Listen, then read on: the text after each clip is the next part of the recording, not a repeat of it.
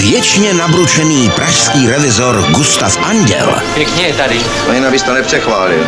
Moc vybavený nejsou. se ocitne na dovolené, Nezapomeňte, že jste na rekreaci, to znamená opalovat se, koupat. která se mu až tak nezamlouvá. Hraje šachy? Hraju, ale nechce se mi. Jaroslav Marvan Hleďte, ten bubák už zase jde. Vypadá jak vejr.